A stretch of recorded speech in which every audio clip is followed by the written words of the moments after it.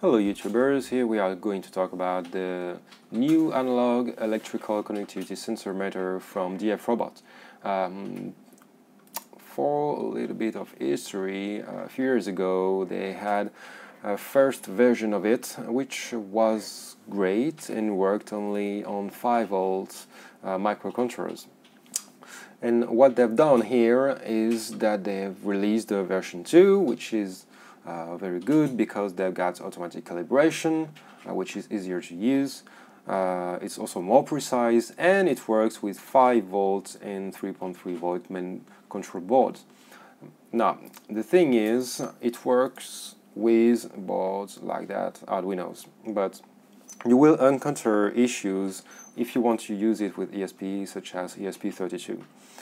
And what we've done uh, in order to solve that problem is that we've uh, tried to come up with a solution.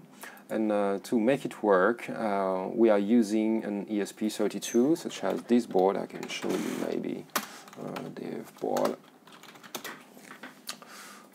We're using this kind of board. And we are using it with an external ADC controller. It's called ADS1115 from Adafruit, a circuit like this one. You will find all the links in the video's description. And here is the, the issue. You, you can try to use it with the ESP32 dev board alone, but the ADC converter on this board is not accurate enough to uh, give good results. So what you need to do is to have a little board that takes care of the ADC for the ESP32. And what's great with this board, it already has a library that works perfectly and that you can easily use. So what we've done is that we've adapted the DF robot code uh, to the ESP32 and we've put it on GitHub. So you will need an Arduino IDE, of course, and now you will need to take this code. So you got to search for our company. It's called GreenPonik. FY, we make uh, connected devices for gardening, which are great. You should check out our website.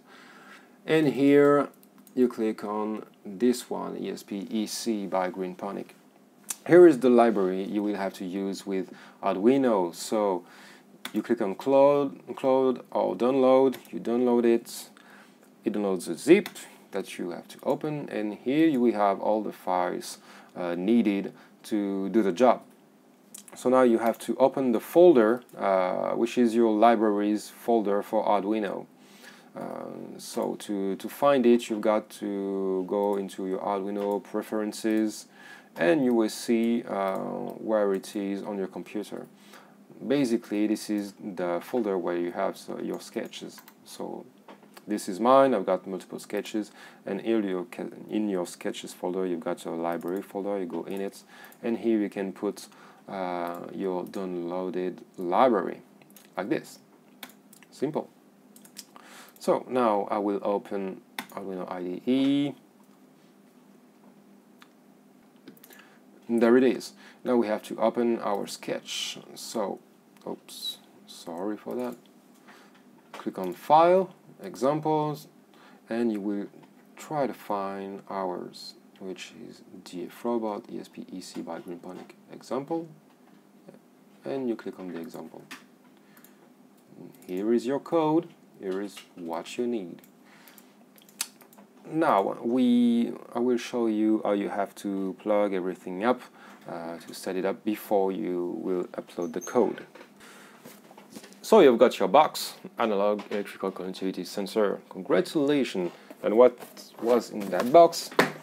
You've got the circuits, you've got your sensor, uh, you've got two calibration solutions because you will have a calibration on two points um, and you will need few extra things to make it work. You will need um, cleaning solution. For me, it's only water right, right here. Quick disclaimer, uh, don't hesitate to use double face tape. It's really good because it holds the bottle on your desk and it avoids um, catastrophes when you put the sensor in and the solution gets spilled everywhere. It's a mess. so that's the DF robot part and you will need other parts as well. So of course you will need an ESP32. You'll need this, you'll need some DuPont cables, you will need the ADC converter, like this one, it's beautiful, and you will need a breadboard. Okay, so um, what I can do is to zoom, oops, sorry, zoom in just a little bit so that you can see where I look things up. Uh, so let's let's do it. First, the ESP32. Uh, you have to uh, plug several things on this. You got to plug your plus and minus because that's where your current will come from. You will also have to plug, uh, which one can I take? This one, for example. So now you will have to plug your ESP32 uh, with your ADS uh, 1115.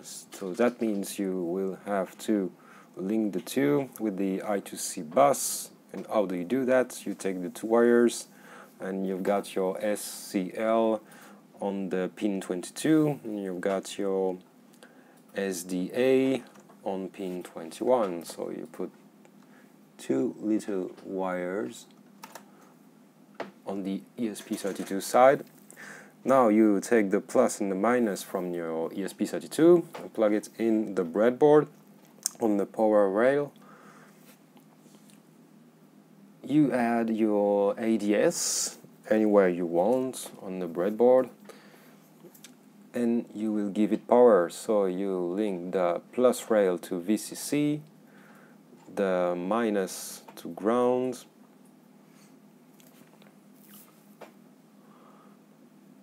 what you do now is to uh, put the a wire between ADDR which is the address port to minus so that the code knows it's still on the same address which is, uh, if I remember well, uh, 0x48.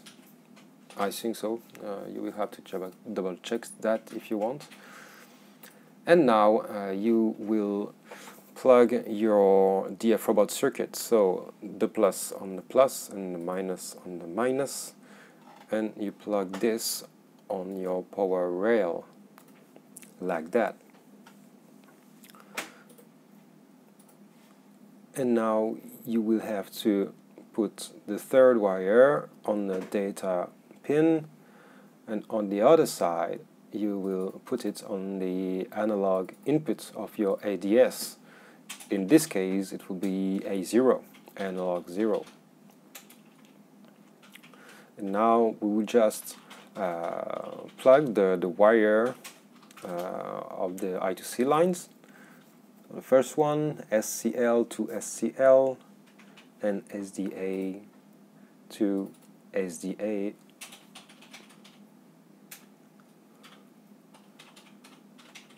And that's it. Now everything is supposed to work. Uh, we just have to, to plug the sensor on the electroconductivity circuit and give some power to all that to see if it works as intended. So I plug it in, a little light, ESP is on, and the circuits also have currents. So now we have to go through the next step, which is real calibration. So we go back on the code side of things. So back to Arduino, the ESP is hooked up to the circuit through the ADC converter. We've got our example, so now we have to upload it on the ESP.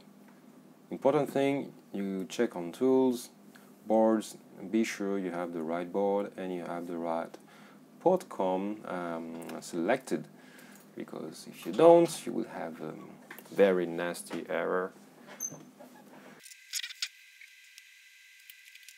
That's it, done uploading.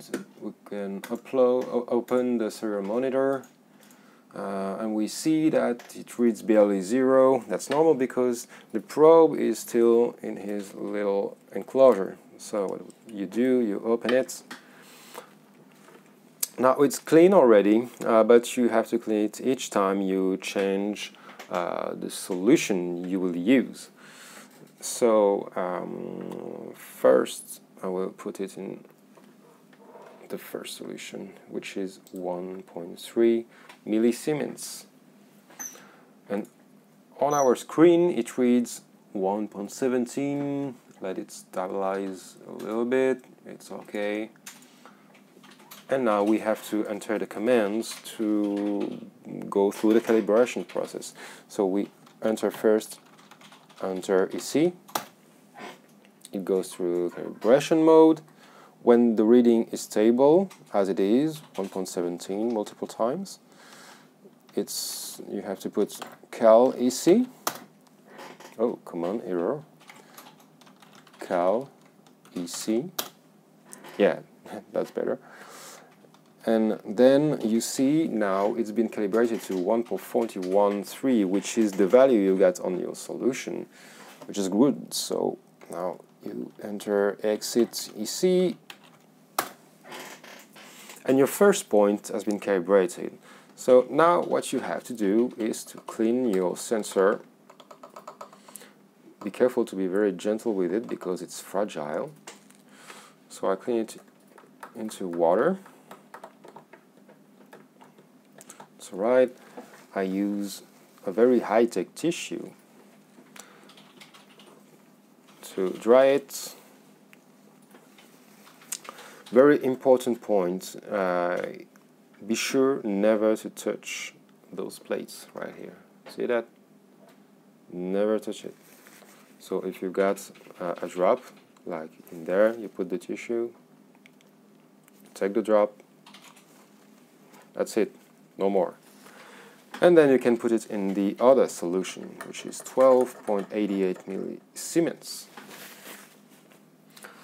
Now on our screen it writes 9.69, 9.7, which is quite far, but it's not a problem for the code. So here we go again for the silicon calibration point. So enter EC,